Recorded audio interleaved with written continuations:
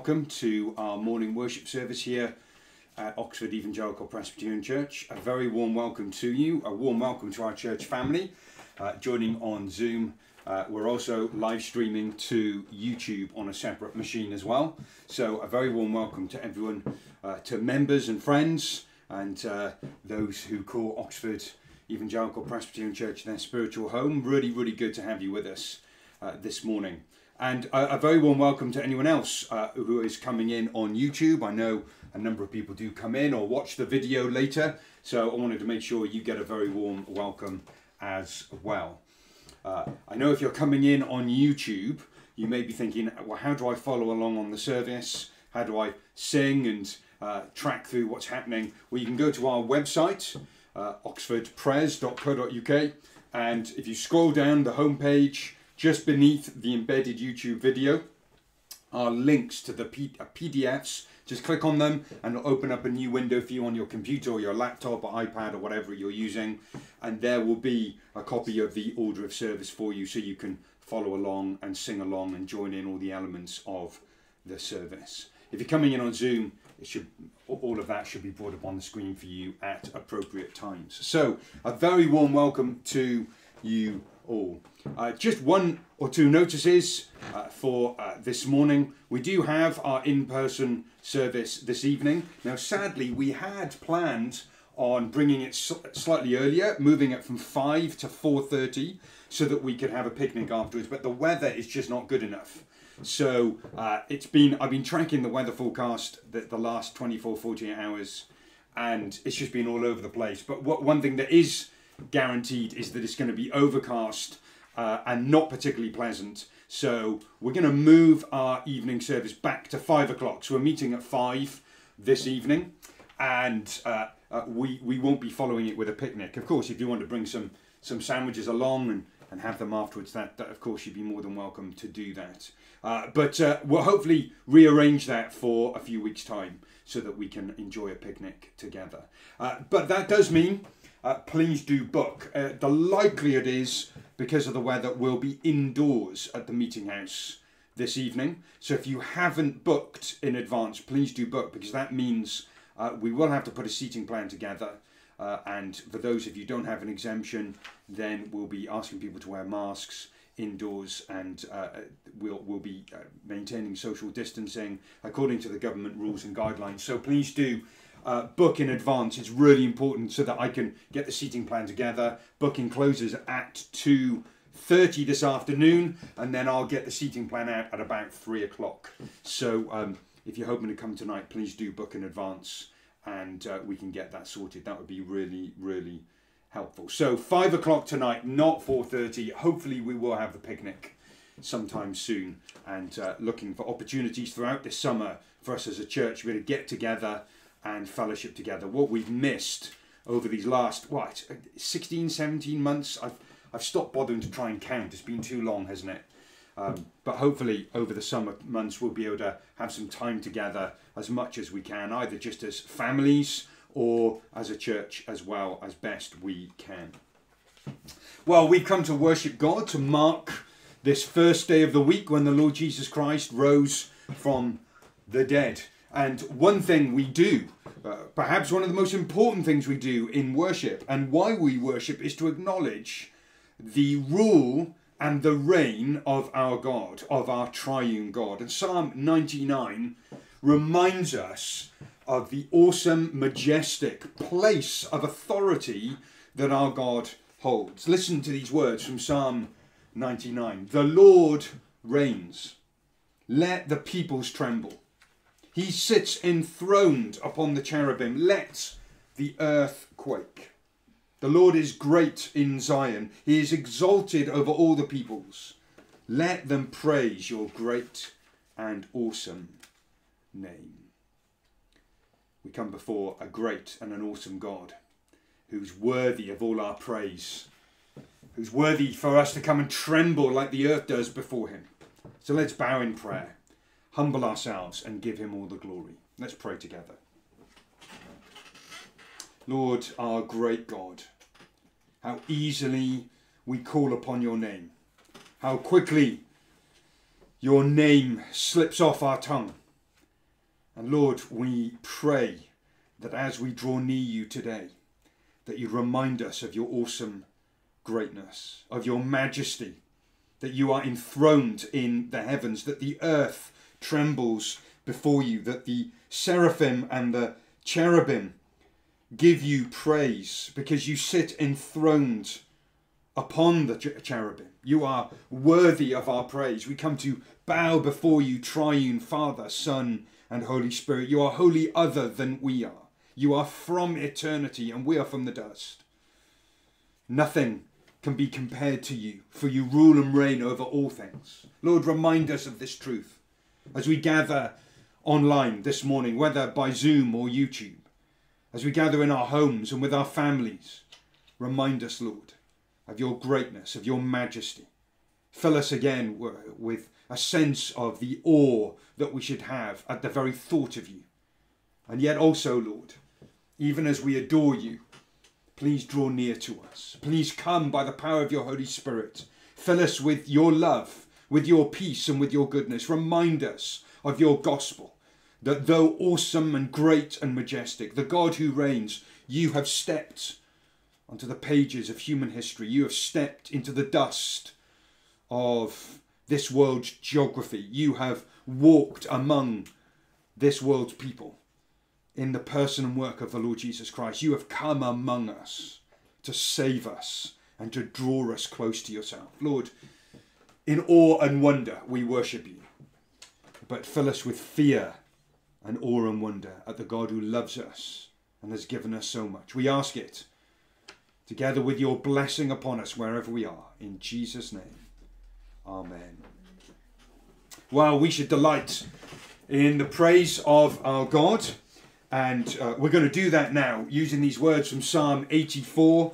Psalm 84, O Lord of hosts, how lovely is your dwelling place. This, this is a psalm of David written when he couldn't meet with God's people, when he was remembering what it was like to be with God's people in worship. And so, what an appropriate psalm for us to sing in our homes, longing to be with one another, longing to be able to worship God in person as well as online. Let's sing this to God's praise, yearning for God's presence and blessing. O Lord of hosts, how lovely is your dwelling place.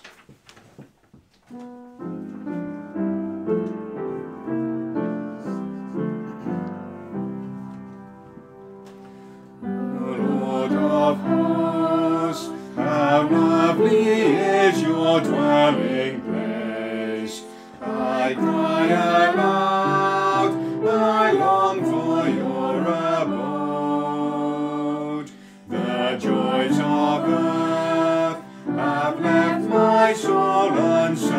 unsatisfied. My heart and flesh desire the living God within your walls the sparrow finds a nesting place, that near your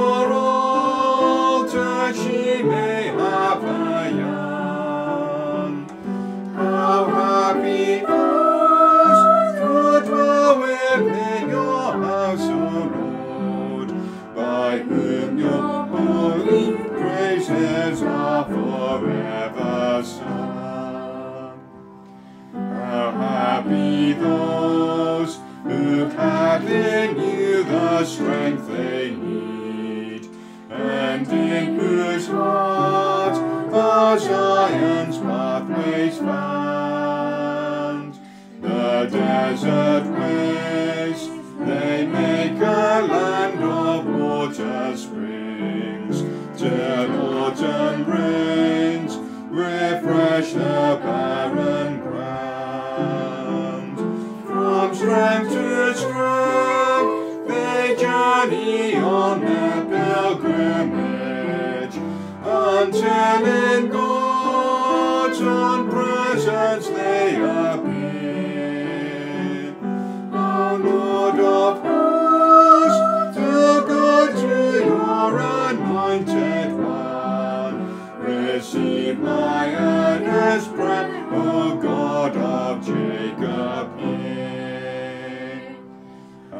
better far a single day within your courts than thousands spent in any other way.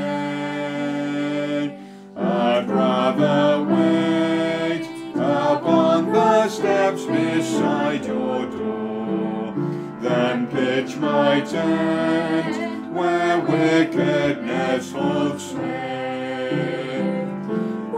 Like a shield, the Lord defends and covers us. He gives us grace and crowns with glory too. And nothing good withholds from those that walk aright. The Lord of hosts, how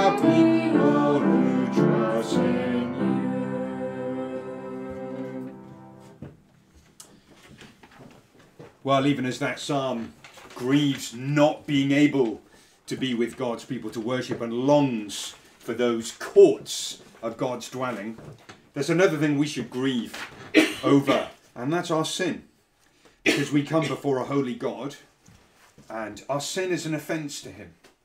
It's the reason why Jesus Christ became man, and why He lived in obscurity for 30 years, and why He taught and and came to reverse the effects of the fall of sin in his miracles. Why he went to the cross and died. Not, not simply another man of really tens of thousands of people who were crucified 2,000 years ago, but as the God man, the saviour of his people, bearing our sin upon his shoulders. And so our, our sin should, should grieve us. And that's why it's good and right that we confess our sin to our God. We're going to do that now using these words that will come up on your screens if you're coming in on Zoom. These are simple words, short words, and yet we should make them our own and, and humble ourselves and grieve over our sin and take joy in our Saviour as we say them together. Let's confess our sin together. Most merciful God, we confess that we have sinned against you in thought, word, and deed, by what we have done and by what we have left undone. We have not loved you with our whole heart. We have not loved our neighbours as ourselves. We are truly sorry and we humbly repent. For the sake of your Son, Jesus Christ, have mercy on us and forgive us, that we may delight in your will and walk in your ways, to the glory of your name. Amen. For the sake of your Son, have mercy on us and forgive us. God loves to hear his people say those words because before we ask for forgiveness, he promises to forgive. Listen to these words from Isaiah chapter 1. Come now, let us reason together, says the Lord. Though your sins are like scarlet, they shall be as white as snow. Though they are red like crimson, they shall become as wool.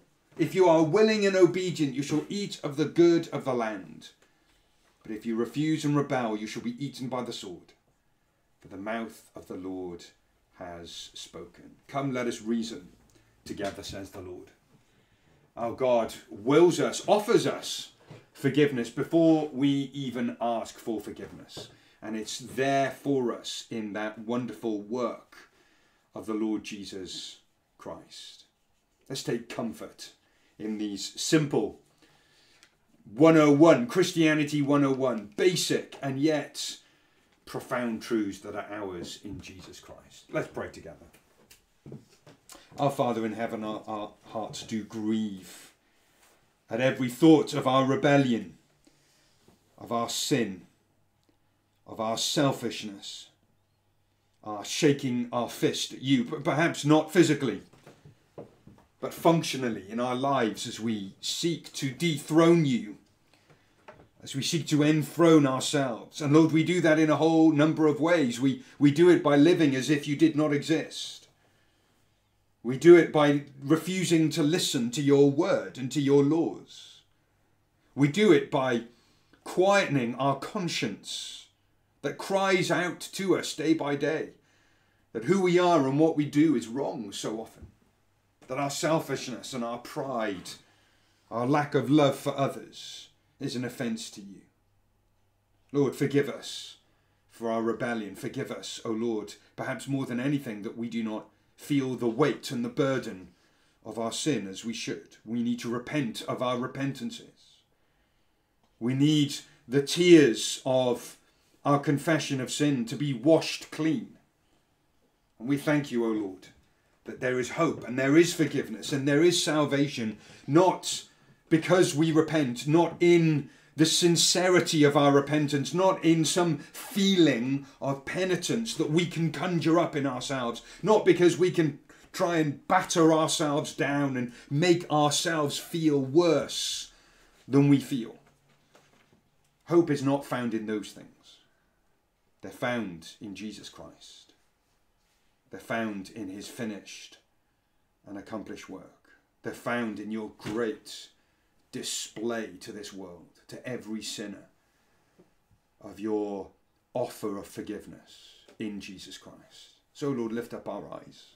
As much as we grieve over our sin, we would rejoice doubly, triply in the provision for sinners that you have made in Jesus Christ. We thank you and we praise you.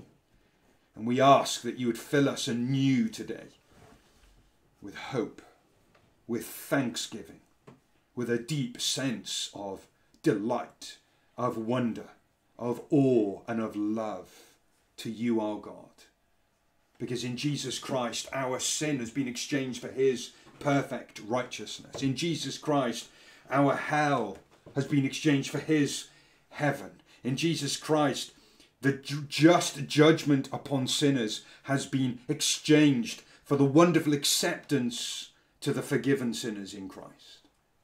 Lord, give us joy, give us hope. Lord, forgive us that we, we delight in, in the trinkets of this world. We, we delight in experiences and we, we delight in, in money and material things and we, we delight in, in, in things that are, that are good, gifts that you've given to us. And we make so much of these, these small passing pleasures and we make, we make so little of Christ of the forgiveness that is ours in Him.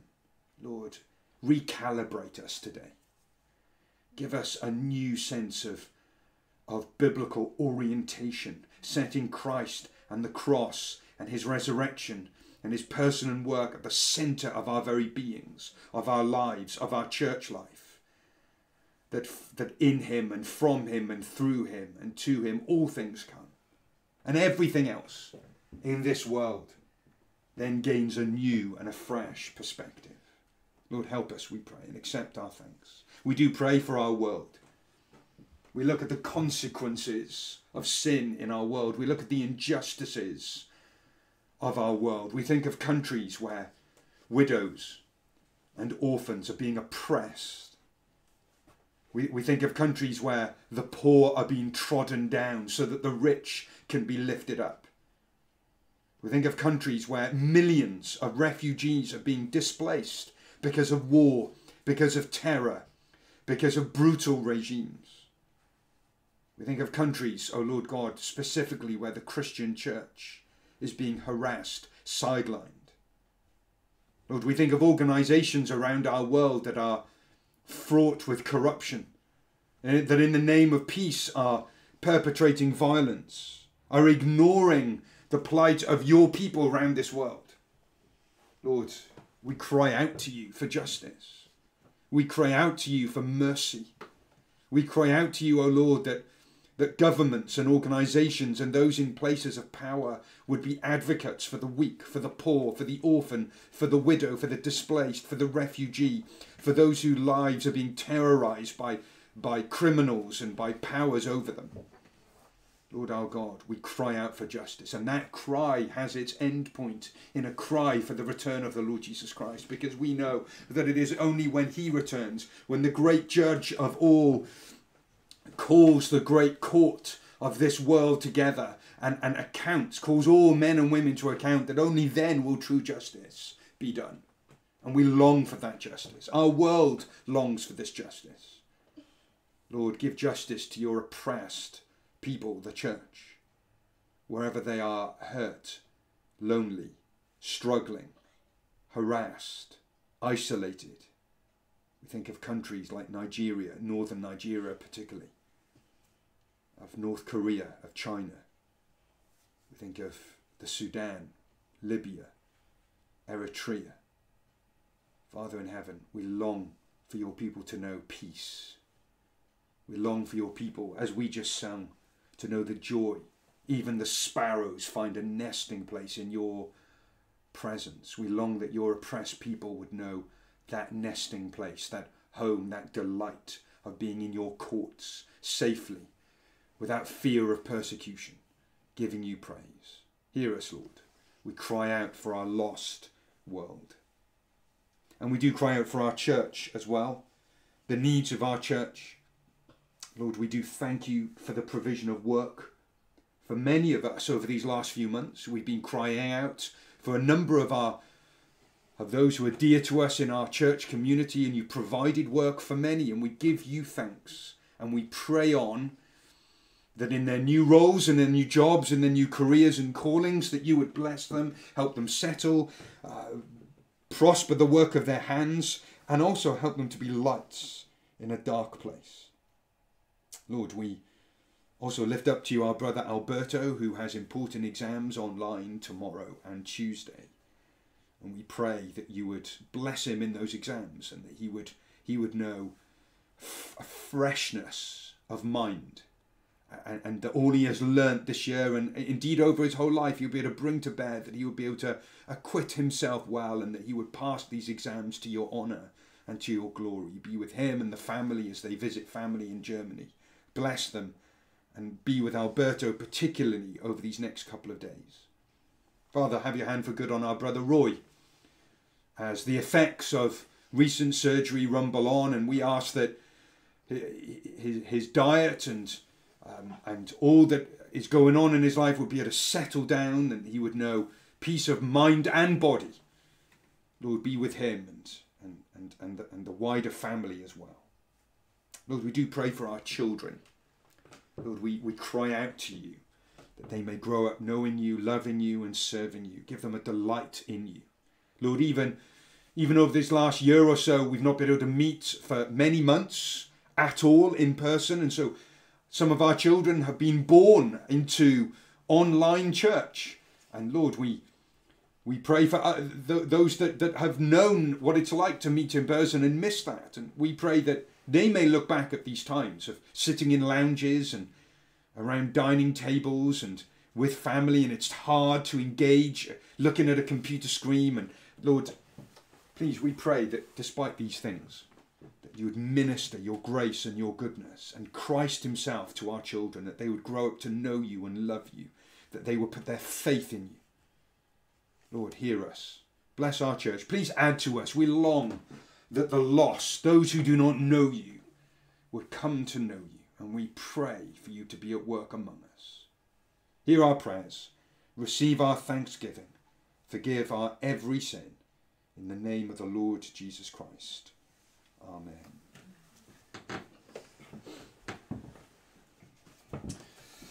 Well, children, I wonder if you know what this is.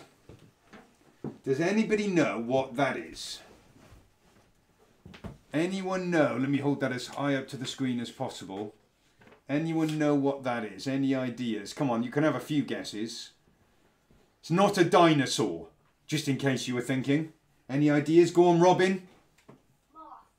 Well done. I thought that's excellent, Robin. I thought someone might start with a butterfly because if it was me, I'd be sitting there going, "It's a butterfly." But you, you, you obviously know a lot more about the distinguishing marks of butterflies and moths. Well done. It's a moth. Look at that. What a beautiful moth. Does anyone know what kind of moth it is? We do actually have these moths in Great Britain. I don't think I've ever seen one, but we do have these moths. Anyone know what kind of moth it is? Beatrice? An elephant moth? Oh, it's not an elephant moth. Not an elephant moth. Anyone want to have another have another go? Go on, Robin. Is it some kind of hawk moth? Oh, well, I, this is where you're testing me. I actually don't know my classifications of moths that well. It might be. It's called, let me tell you what it's called. It, it might well be, Robin. I'm going to have to go and check later. It's actually called an emperor moth. It's called an emperor moth. Now, this is the male, the male emperor moth. The female emperor moth, it actually isn't as colourful, although can is actually bigger than the, the, the, the, the male emperor moth. Do you know how big? Let me, well, actually, I, I'll show you how big they can get in a minute. There's the emperor moth. What, before the emperor moth was a moth, do, do you know what it was? Before the emperor moth is a moth, it has another life. Do you know, go on, Beatrice. A cocoon. Before a cocoon, go on, Beatrice. A caterpillar. A caterpillar. And here's a picture of the emperor moth caterpillar. Can you see? Now, it's a big, it's a bit of a beast when it comes to caterpillars. Now, I know in relation to us it's not that big, but here's, here's, this gives you an idea of how big it is because someone has taken a photograph of an emperor moth up against a ruler. Now, can you see, let me just show my, my girls here in my, in my lounge and anyone else online. Can you see that's inches across the top there? It's bigger than two inches and here's centimetres at the bottom. So about six centimetres. About six centimetres. That, that's, I know that won't help you on screen. That's a pretty, as caterpillars go, that's a, that's a bit of a beast. And actually there are several varieties of them. And here's one. This looks pretty scary. This looks like something out of a, a dinosaur movie, doesn't it? This is a particular kind. And you can see the size relative. Someone's actually got it in their hands. Why they would have it in their hands? Well, they're braver than I am. Look at that. That's a particular, I forget the name. That's a particular kind of emperor moth. There's various varieties you can get. Can you see? What a beast. What a beast of a, of a, of a creature. Now then, how, and Beatrice helped us out here, how does the caterpillar of the emperor moth become that? They look very different to me. How does it go from that to that. Go on, Robin, can you tell us?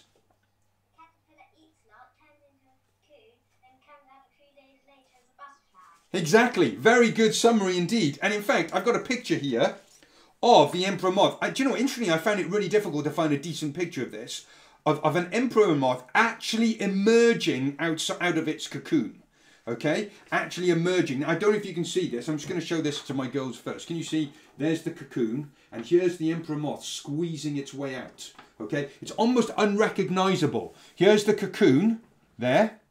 And this is actually the emperor moth squeezing its way, way out. Now, I've never seen an emperor moth do it, but I have seen, if you go to Blenheim Palace, there's a, a very large um, kind of conservatory area and they've got this butterfly display. And if you go into the entrance, they often have butterflies with their cocoons. Actually, I would, and you can watch the butterflies coming out. And you know, and this is true, even more true of the emperor moth. It, it is an excruciating experience because they've got this cocoon and there's this tiny hole that they squeeze their way out of. And, and, it depends on the variety, the species, on the butterfly or the moth. It can take anything from half an hour to several hours to get out. And as you're watching the emperor moth, apparently I've not seen it in person, but I've read accounts. As you're watching the emperor moth try to squeeze its way out of the cocoon, it's an excruciating experience. As it squeezes through this tiny hole, and, and you just think, what is going on here? It's never going to get out. And inch by inch, well, not literally, but millimetre by millimetre, it manages to get its way out. It's a painful, difficult experience for the moth to transform from a caterpillar to a cocoon to a proper moth. Now, why am I telling you this?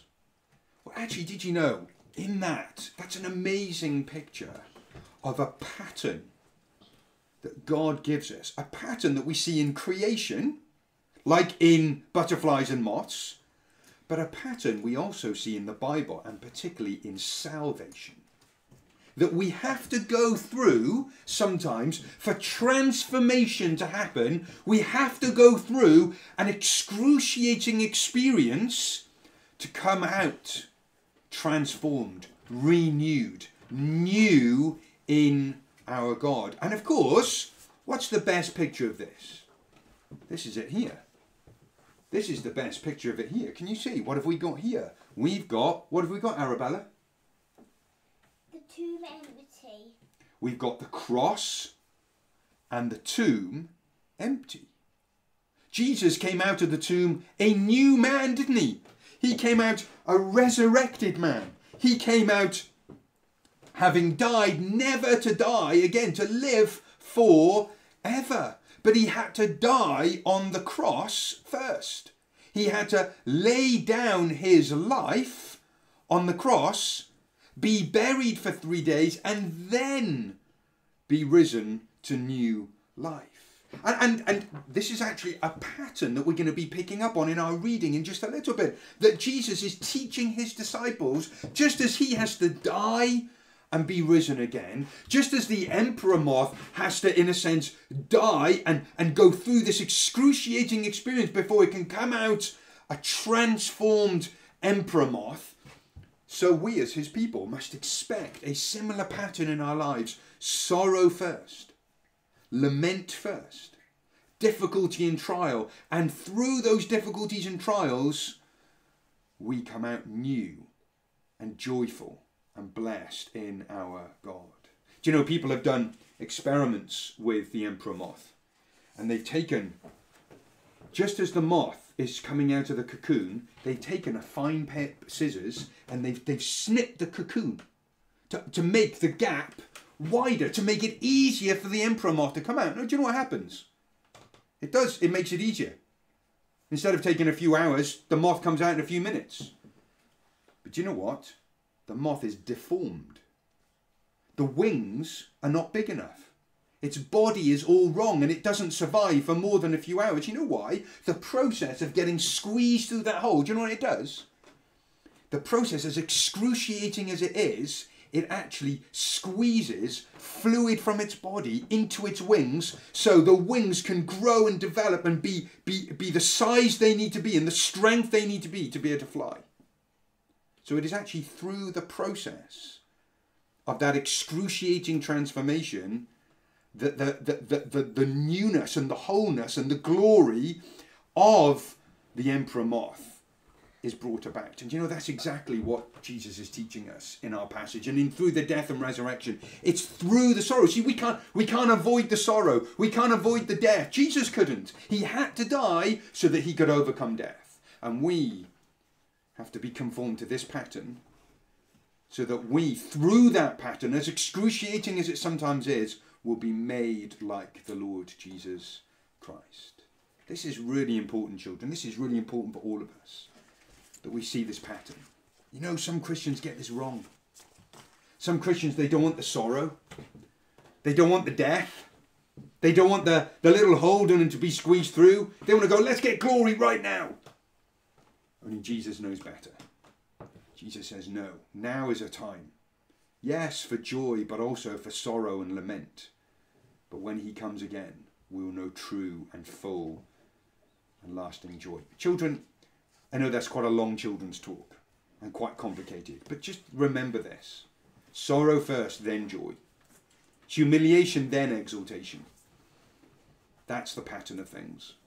And may God give us a humble spirit so we would be willingly conformed, like Jesus was, to that very pattern. Thanks for all your answers and for all your contributions. We'll learn more about that in our sermon in just a moment. We're going to continue to worship God as we confess our faith together, and we're going to use these words from the Nicene Creed.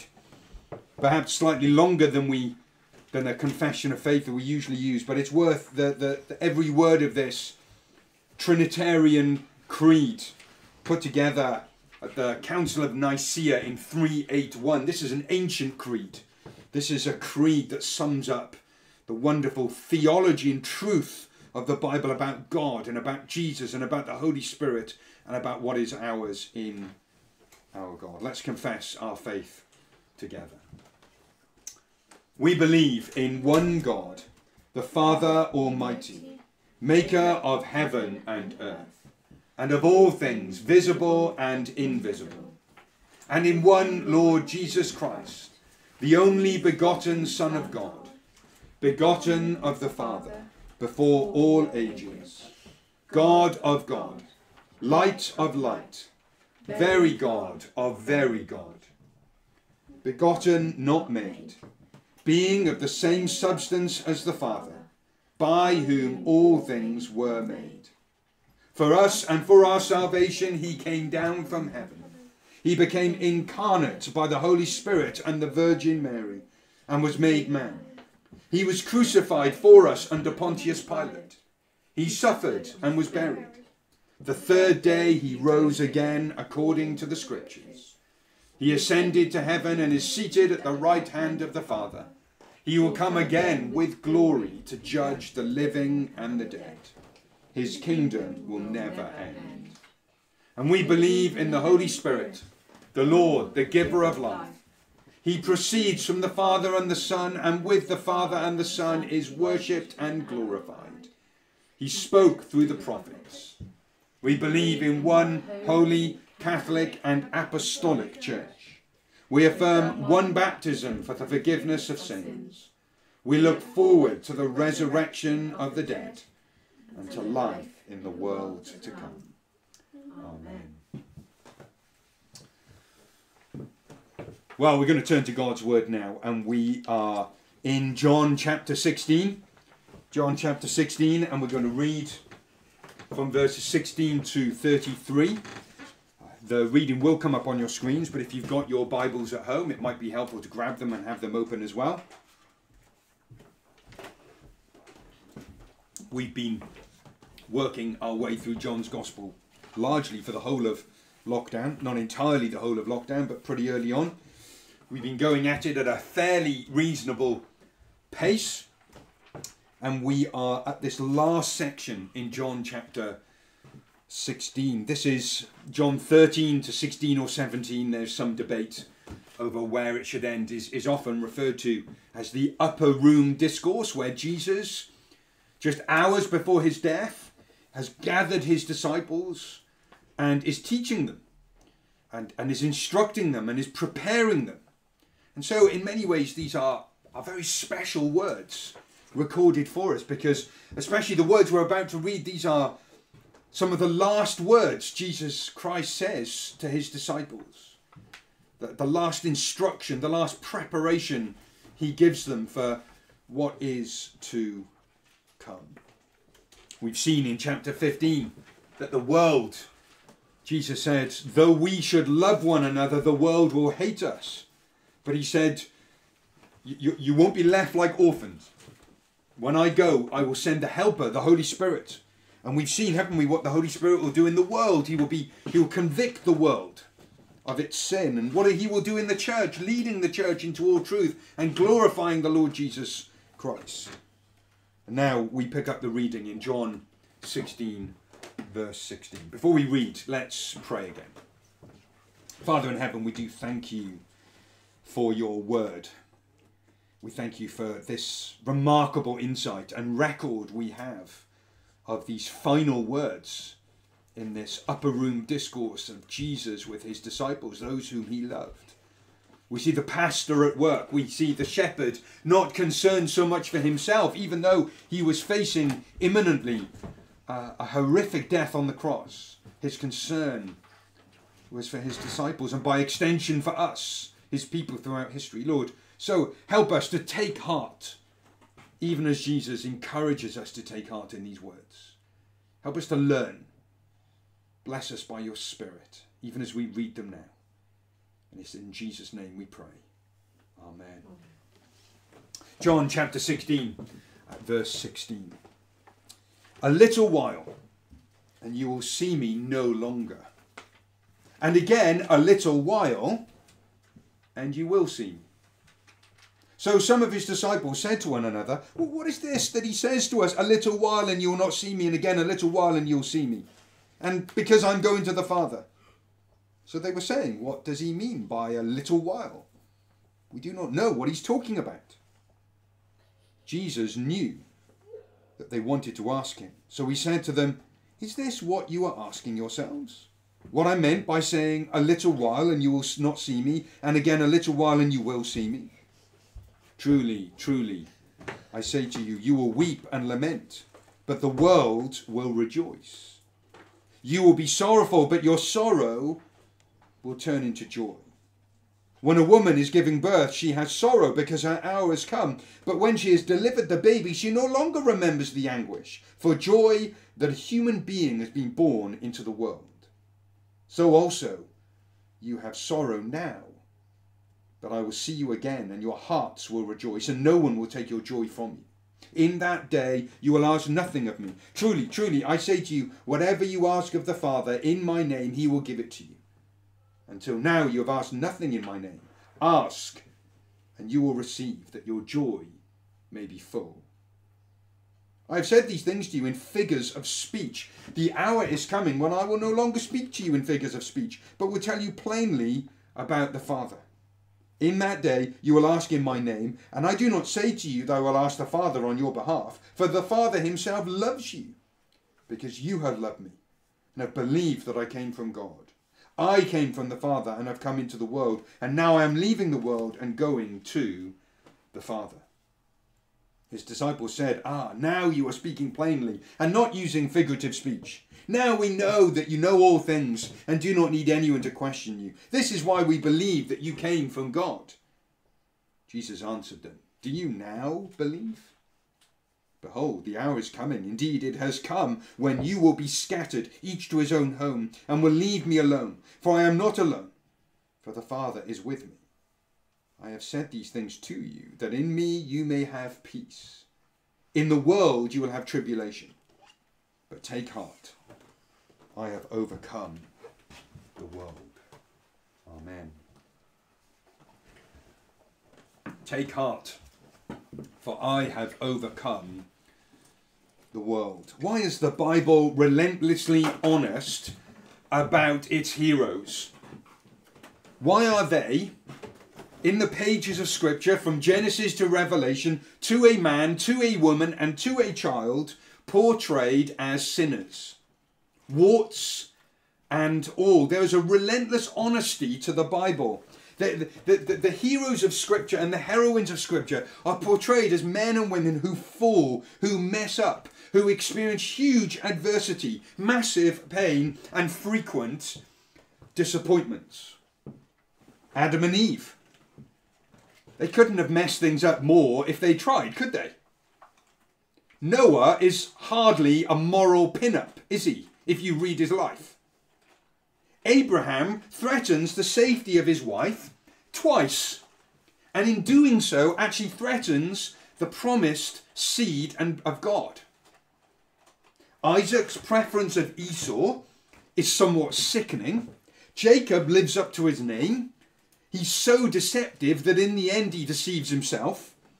Joseph is proud and haughty, and, and whilst in no world does he deserve to be uh, thrown into a pit and sold to slavery, you can't help read the story and think, well, you had your comeuppance, you're so proud and haughty.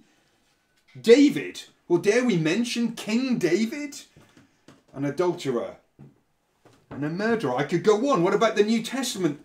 What about what about the apostles, the disciples, the early church? Well, they don't fare much better, do they? The disciples are uneducated fishermen. They're impetuous. They're hard-hearted. They're incredibly slow to learn. The early church is ridden with problems. Just read some of the, the documents that Paul uh, the letters that Paul writes. I mean, 1 Corinthians, the poor man must have been tearing what little hair he had left out, thinking, what is going on in the churches? And where is John himself, the writer of this epistle, at the end of his life? Has he seen prosperity, riches, success? He's on a craggy rock called Patmos, alone and in exile. It's hardly a success story is it? The Bible is relentlessly honest about its heroes and heroines. Why? Why? Wouldn't you have thought the writers of Scripture would have been tempted to what historians call a little bit of revisionism? A little bit of historic revisionism. Let's rewrite history. As Moses was, was writing the Pentateuch, as the prophets were were recording or being recorded in their messages to a, a, a, sinful, rebellious Israel, as the New Testament gospel writers are recording the, the disciples' interactions with Jesus, as, as Paul is writing to the New Testament church for, for the church's benefit, don't you think a little bit of historic revisionism would have been a good plan? Let's make Israel out to be the perfect nation state obeying all of God's commands, never out of his favour. Wouldn't that compel the nations to be like Israel? What about the disciples? What about John as he writes the, the gospel accounts?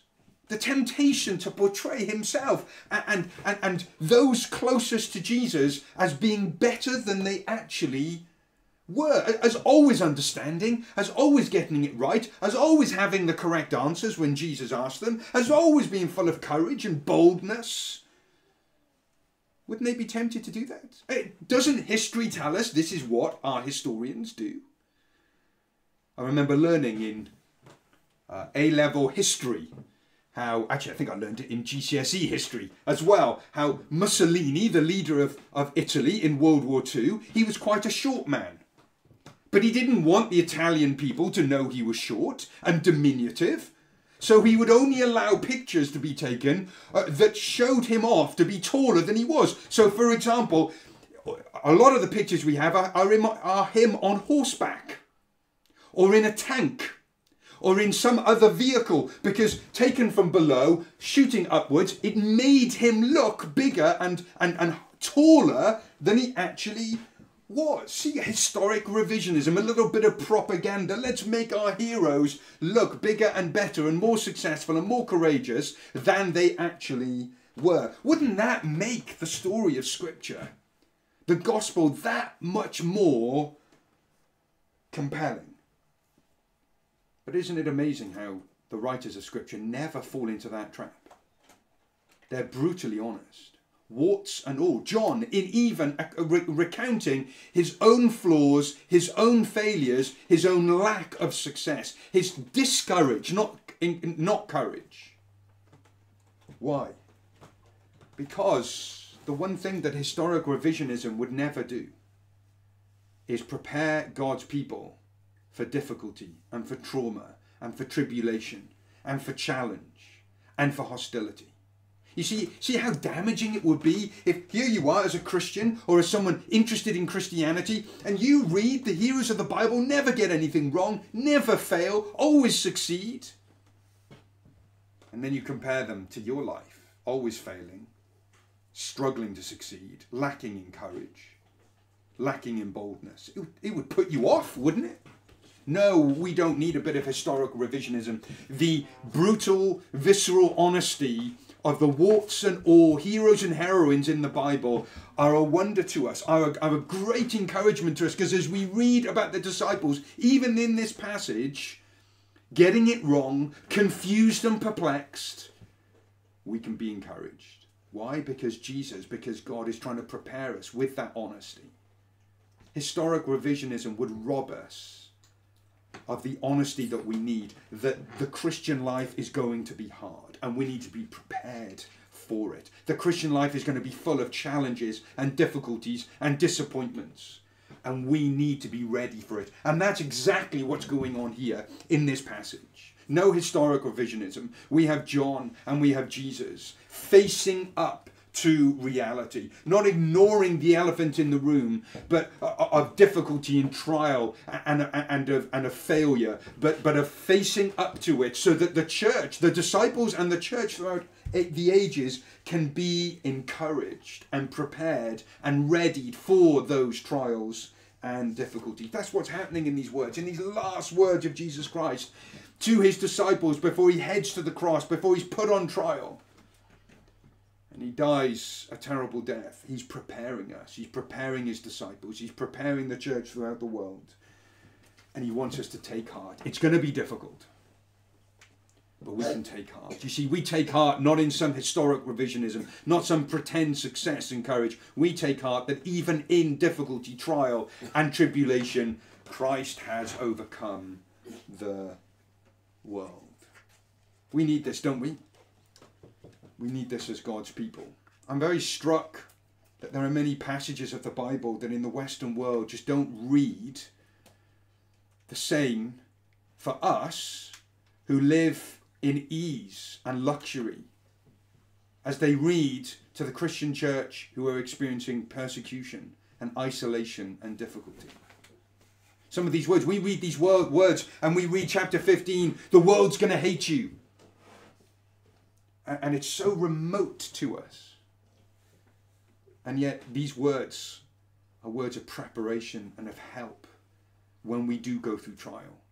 And we should read them through the eyes of our brothers and sisters throughout this world being persecuted and being locked up, being harassed, fearing for their lives.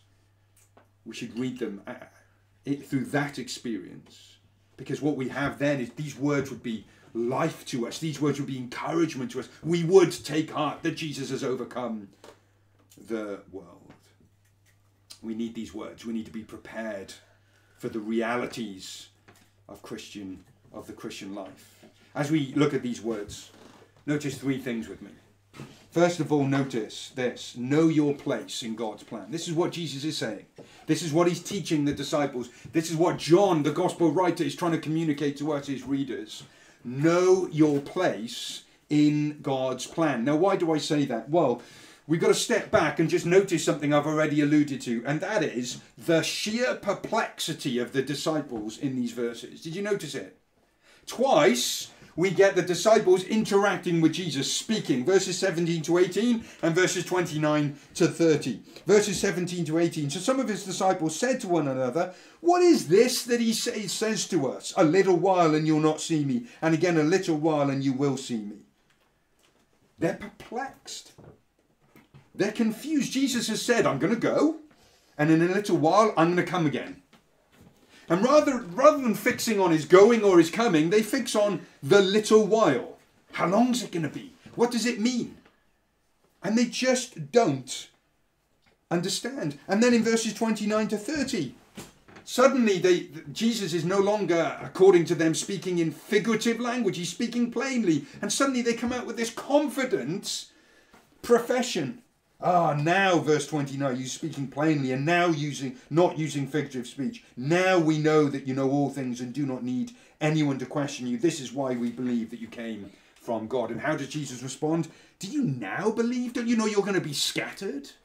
Don't be so rash. Don't be so confident in your commitment to me. What, what are we getting here? What are we seeing here? The disciples are, are bewildered, they're confused.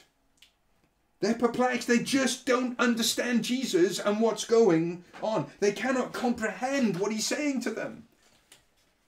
On the one hand, they're confused. On the other, they're rashly confident. In just a few hours, not only will Jesus go to the cross, they will desert him at the cross. And what will have happened to their confidence then? What are we seeing here? I think it's worth stepping back and drawing out a few lessons. First of all, did you know it's okay to be confused sometimes? It's okay to be confused sometimes. Just think about the first readers of this gospel. Here's John. John does not hide. There's no historic revisionism here. John is one of the esteemed apostles, the foundation of the church with the Lord Jesus Christ as the chief cornerstone. And here John is writing this, and, and this is not what, what you would call hagiography. You know what hagiography is? Hagiography is, is where you write the life of someone and you leave out all the bad bits. Sadly, an awful lot of Christian biographies like this. It's not biography, it's hagiography. That we make. I remember reading um, a, a, a, biography of. Um, well, I'm actually well. It doesn't matter. It was it was Charles Haddon Spurgeon, this brief, great man of God. But I read the biography, put it down, and thought, I, I feel like I should worship him. He, he did nothing wrong. He, he never said anything wrong. He, he just was, he's like the saviour figure. I then remember reading another biography of Charles Haddon Spurgeon that was much, it wasn't hagiography, it was biography. He struggled. He went through times of depression and discouragement. He got things wrong. See, see what hagiography does? It makes the person, the biography, it makes them out to be Jesus like, actually and it doesn't help anyone.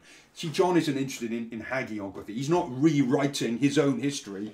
Warts and all, it is an honest portrayal of the disciples' confusion. Can you imagine this circulating? Imagine the gospel circulating around about, well, John is, let's say he's writing in, in, in the late first century.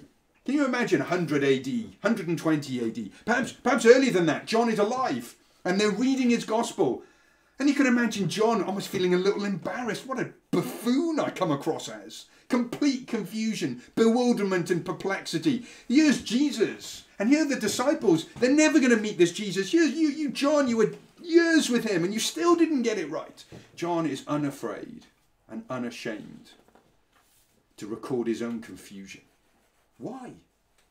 I think there's something deeply pastoral here. Because it's native to the Christian life, that's why. We don't have all the answers all the time. Even the closest apostles were confused, bewildered, and perplexed. Are you sometimes confused, bewildered, and perplexed? I am. People come to me. You're a minister of the gospel, Andy. You've gone to theological college. You've been preaching for years and years. You must have all the answers. You know, sometimes I sit there and I haven't got a clue what to say. You're looking at me? Now, sure, I'll go away and I'll ask other, other, I'll ask men in the church and, and I'll pray about it and I'll read good books, but I still sometimes I'm confused. That's the Christian life sometimes. And you know, it's okay. It's okay sometimes, particularly in the face of hardship and struggle and trial, to go, do you know what? This is tough and I don't know what's going on. This is the portrayal of the disciples here. I think there's a second lesson from this, and now we're getting into really what the main purpose of this heading know your place in God's plan. Because that what brings clarity to the disciples? What brings clarity is a few days later. What happens a few days later? Well, a few hours later, Jesus dies. That doesn't necessarily bring clarity. Then he's buried, but on the third day, he's risen again. You see, the disciples are at a particular point in the plan of God. Little did they know that they are on the brink, literally hours and days from the brink of one of the most important events in the whole of human history the death and the resurrection of Jesus Christ. And they are confused partly because they don't understand what's about to happen and they don't understand their place, literally their location in the unfolding plan of God. What are we going to what are we going to see as we read Acts 1 and 2? We see the same disciples, the same apostles empowered to preach the gospel with full clarity, with full 2020 biblical vision over the importance of Christ and what has happened. What's changed? What's changed is the death and resurrection. That's why. And Jesus is teaching us here know your place in God's plan.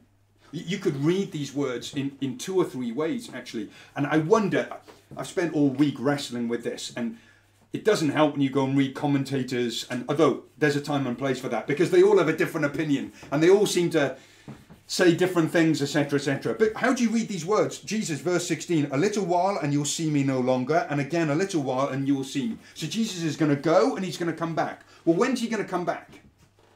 Well there is an argument quite a cogent argument that this is talking about his resurrection that literally in three days, three or four days' time, I will come back to you. You will see me.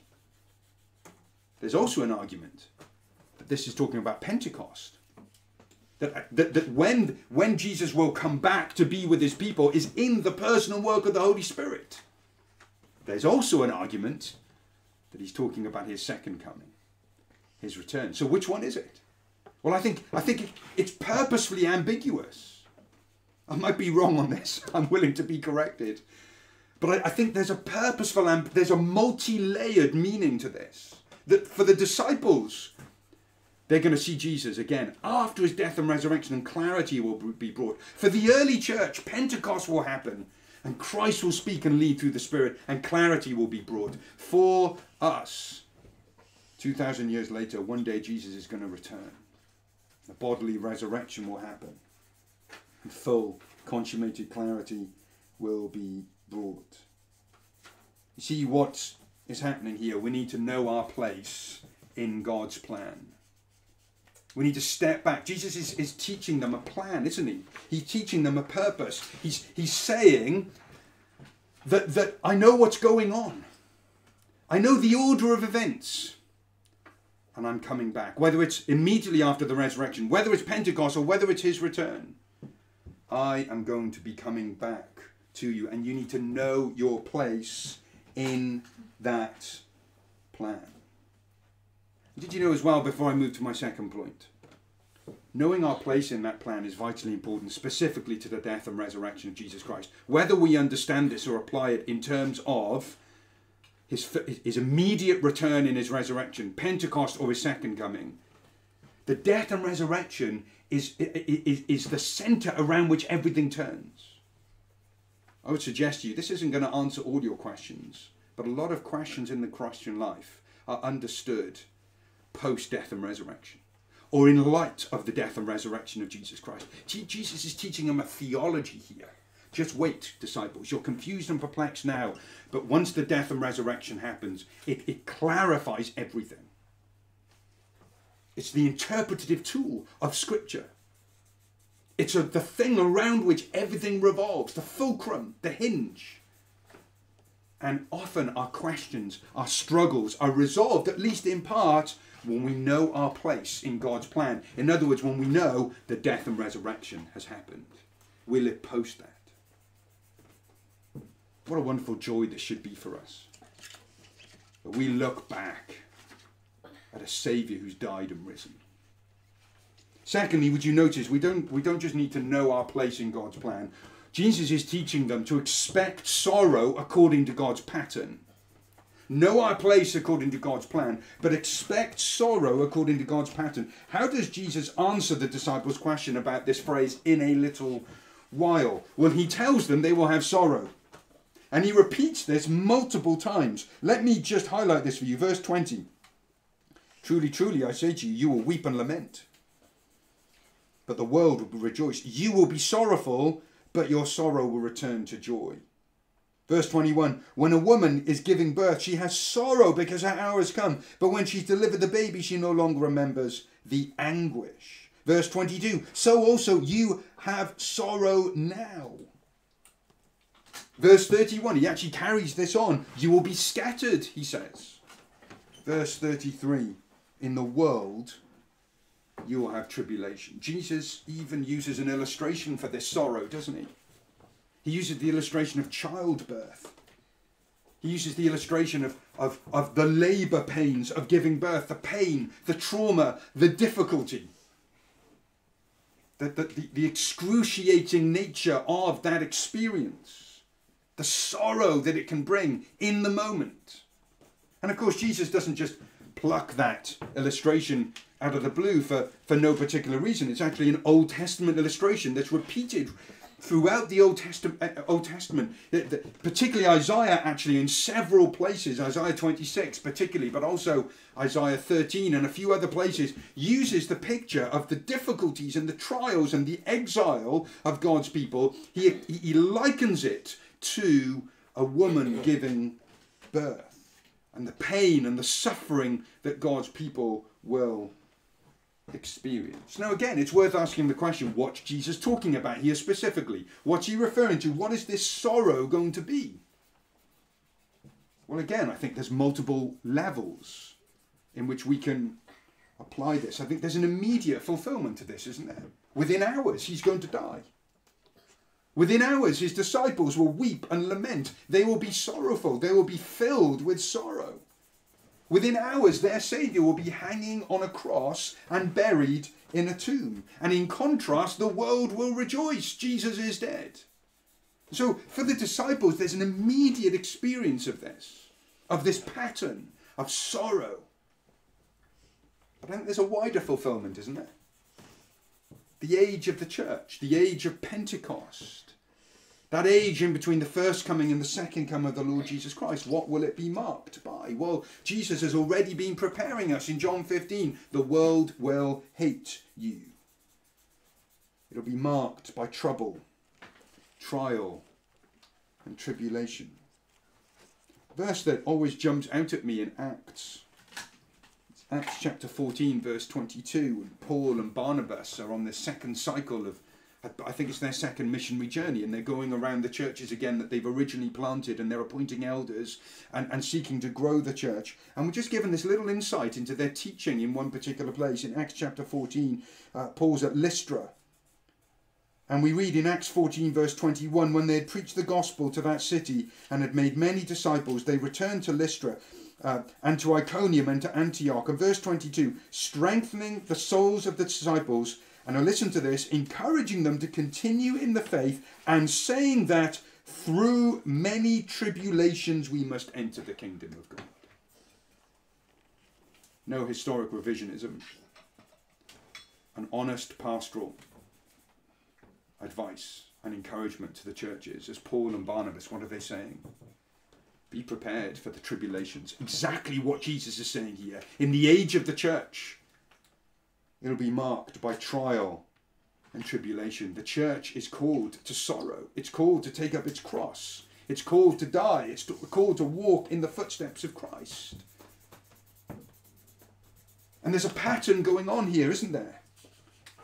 We saw this last week that the hostility of the world to the church follows a pattern, the pattern of Christ himself. They hated Christ, they'll hate his disciples.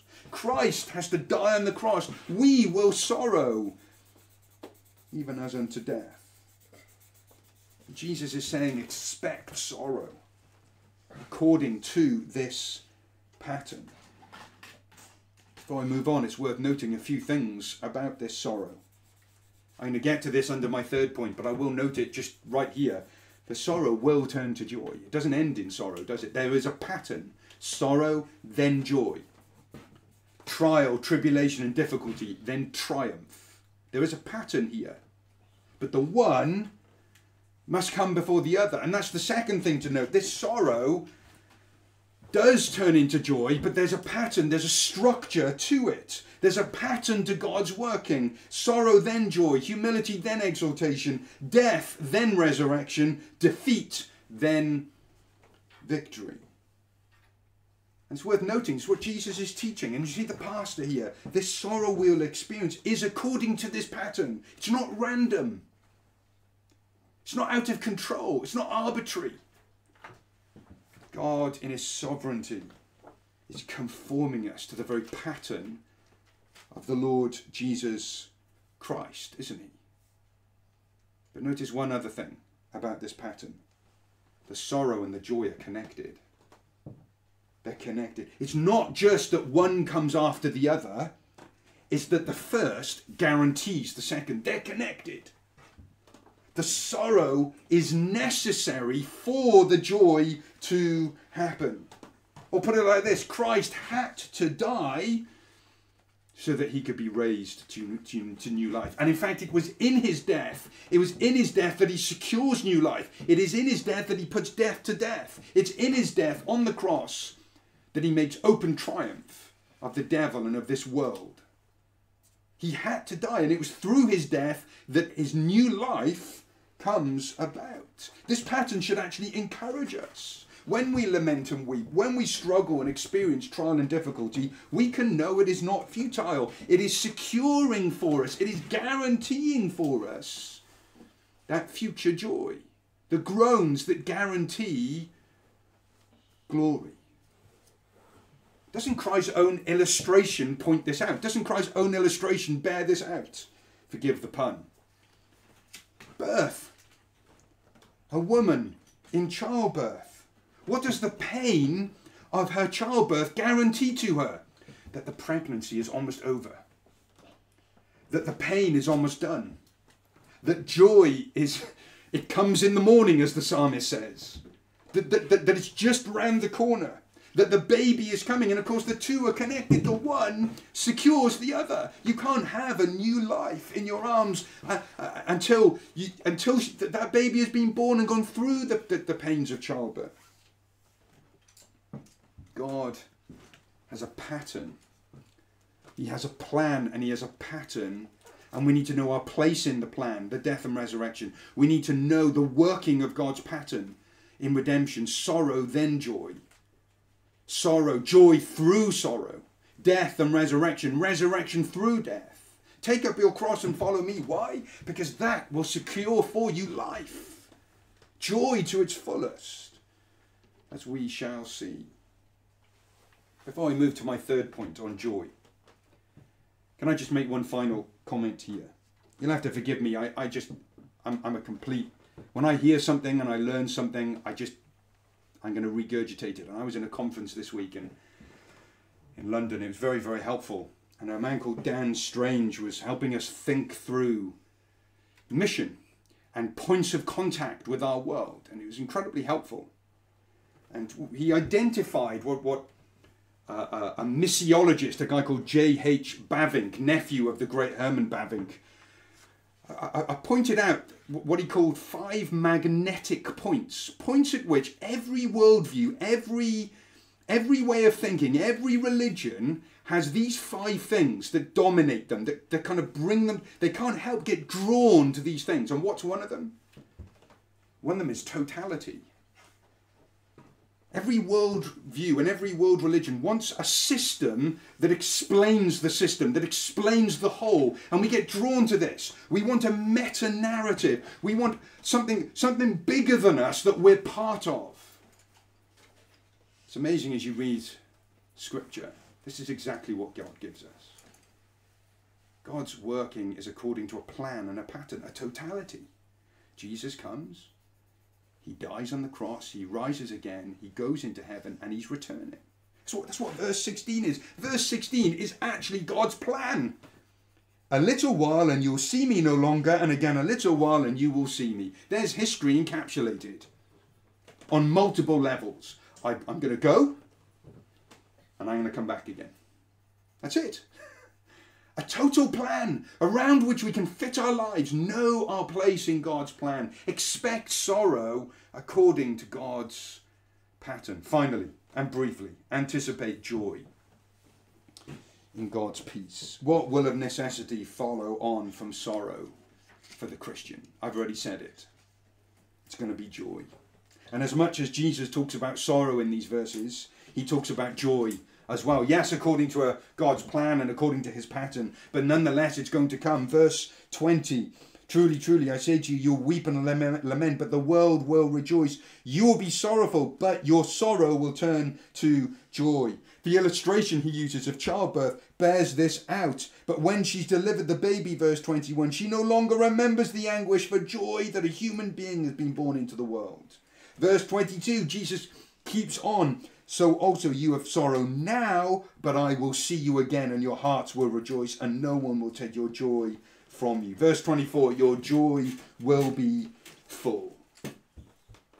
So note this pattern. We've, we've thought about the sorrow, but the sorrow guarantees the joy. That's what Jesus is saying here. There is a pattern, there is a plan, but you can be at peace because their joy is coming. Rejoicing will be yours. And again, think about those three levels at which you can apply this. This was true of the disciples the joy. When they, they meet Jesus, the risen Jesus again, the excitement, the relief, the clarity. And what about Pentecost? The joy at Pentecost, at being emboldened by the power of the Spirit sent because of the risen, ascended, ruling Lord Jesus Christ. The joy that they offer our world to bow before the Lordship of the Lord Jesus Christ. A joy that we can experience now in being God's people. But also, what about that third horizon? That third horizon of fulfillment, the joy when Jesus Christ comes again, when all weeping and lamenting and sorrow will be ended. See, this, this is the when. This is the in a little while as the disciples are confused by what Jesus is saying. This is what we have, and Jesus is assuring us we've got joy. But notice something else about this joy. In what, or better, in whom is this joy? Is it just this ecstatic, out of body experience that we'll, we'll have? No, no, no, no. The joy that Jesus Christ is offering is, is located in Him. He is the joy. Did you notice that in verse 22? So also you have sorrow now, but I will see you again, and your hearts will rejoice, and no one will take your joy from you. Can you see how it's located in Christ? I will see you again. The joy is located in the person of Christ himself. And I think all these, these verses actually revolve around not just the person of Christ, but also the work of Christ. He's going to go, but he's going to come again. That is encapsulating his death, resurrection, ascension, reign, and return. Within that, we will have joy in the work of Christ. And it's striking, isn't it, in verse 33? What does he say? I have said these things to you that in me you may have peace. Take heart, for I have overcome the world. What is to be the center of our joy? What is to be the cause of our joy? It's Jesus Christ Himself. That's what it is. The joy for the Christian is not, is not some ecstatic experience, this kind of seventh heaven, this kind of walking on cloud nine with this inane grin because of some spiritual gift that we've got. No, no, no, no. The joy is found in Christ, in who He is and what He's done for us. That's what Jesus is saying. Center your joy. Your joy will be full because my work will be complete. I have overcome the world. Let me ask you and let me challenge you and let me encourage you. Where, where's your joy located? Is your joy located in something you can lose? Is it located in something temporary? Is it located in something passing? Or is it located in Christ? Is it located in Him? What gives you what gives you real joy? Christ Christ's person, his loveliness, his humility, his service, his love for us, his reign, his death and resurrection, his return. That should give us real joy. That, that's where joy is located. J.C. Ryle, the great bishop, Anglican bishop, in his commentaries on the Gospels, he, he says this that the Christian life should be marked by looking back to the cross, looking up to the right hand of God, and looking forward to the return of Christ. That's great, isn't it? We look back, we look up, we look forward. Look back to what Christ has done on the cross. Look up to his present rule and reign and his intercession as our high priest. And we look forward because one day he will return. Jesus is saying, Take heart. Yes, you're going to you need to know your place in my plan. Yes, you're going to be conformed to the pattern of my working, but in me you have peace and you have joy that this world cannot take away from you. The Bible is honest about its characters, about its heroes and heroines. It never hides their flaws and sins. And that should be a source of great encouragement to us. Because actually, it is through the adversity, it is through the trial, it is through their, their flaws and their failures that what do we see on the pages of Scripture? That these same flawed, failing heroes and heroines, what do they do? Yes, they're flawed. Yes, they're failing, yet they have success through their flaws and their failures. It is through the difficulties, it is through the deaths, it is through the failures that God brings about triumph and resurrection and new life and new power. I often think of, especially this time of year, of Wimbledon and the great tennis competition. Of course, Andy Murray's had two or three years of injury and difficulty, but in his glory days, it seemed like the whole of our country wanted Andy Murray to win at Wimbledon, and, and he has done, hasn't he? But when he would come up against, maybe in the quarterfinals or the semi-finals or even in the finals, he'd come again up against Federer or Djokovic or Nadal. there's a part of you that would want to go, oh, I wish it could just be some easier competition. You, you'd want to watch those games and just be able to cheer on your, your champion thinking, he's going to win easily. You, you'd love him to, to succeed, you know, win every match and win every point and never have his serve broken and win three sets to nil and it all be over in an hour and a half. There's a party. Wouldn't that be great? But how much sweeter was it? I think it was against Djokovic, the then world number one. I think it went to five sets. I can't remember. It might have been four, but don't don't quote me. It doesn't matter. It was a tough, hard fought victory. And Murray showed both his strengths and his weaknesses. And there were moments where we thought Djokovic was going to win and Murray was going to lose. But he won, didn't he? Through the trial, through the tribulation, the harder the adversity, the sweeter the victory. How much sweeter? He overcame all odds. He's the true champion. He beat the best in the world. It's the same with Christ, isn't it? That's a silly illustration, I know. But we can take heart. We don't need historic revisionism. We don't need heroes and heroines who get nothing wrong, have no warts, don't have feet of clay. They faced hostility. We will face hostility. They faced tribulation. We will face tribulation. They faced sorrow, lament, and weeping. We will face sorrow, lament, and weeping. But what happened? Their sorrow turned to joy. Their death turned to resurrection. And why? All because of the Lord Jesus Christ. He died and rose, so we will die and rise again. There's one final point as I conclude I wanted to draw out that I haven't had time to, to go into, but let me just give this to you as a parting, closing thought. What then should we do?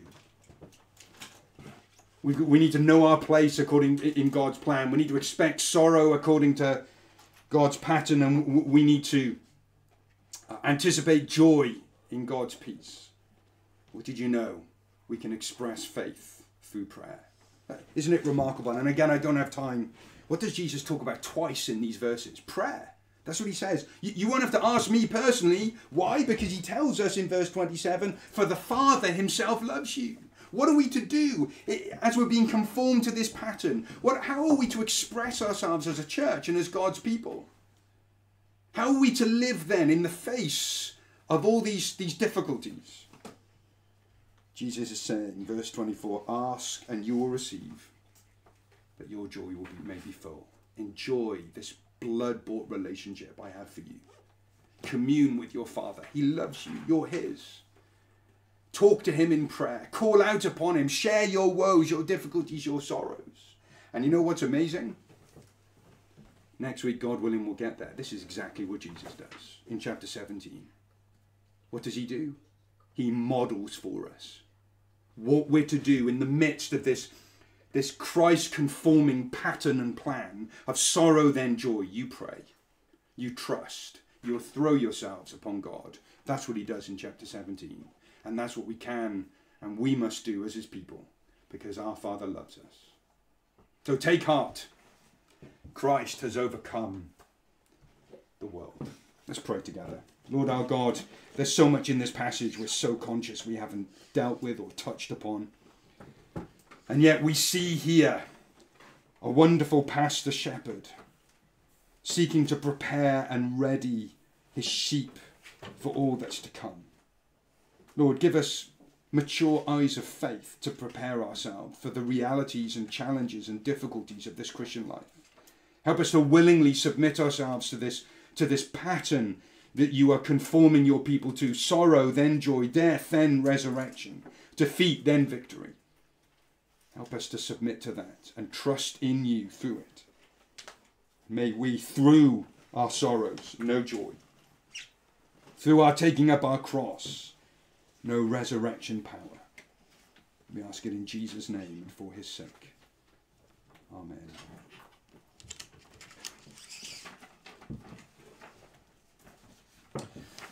We're going to end by singing our final hymn by Stuart Townend and Keith and Kristen Getty, this wonderful, thoughtful, thought provoking hymn, Still My Soul Be Still and Do Not Fear.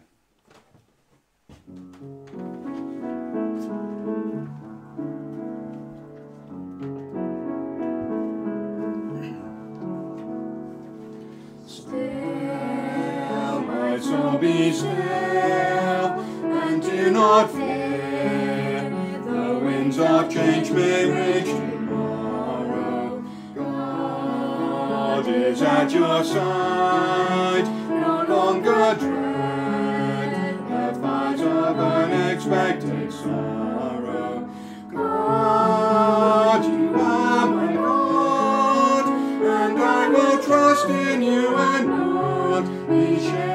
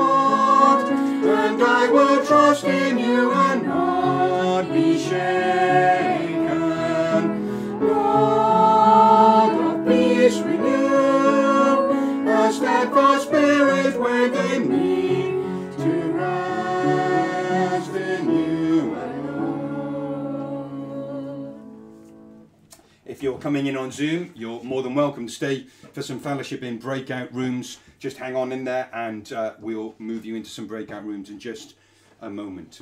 But receive now the parting blessing from the triune God. May the grace of the Lord Jesus Christ and the love of God the Father and the fellowship of the Holy Spirit be with you all.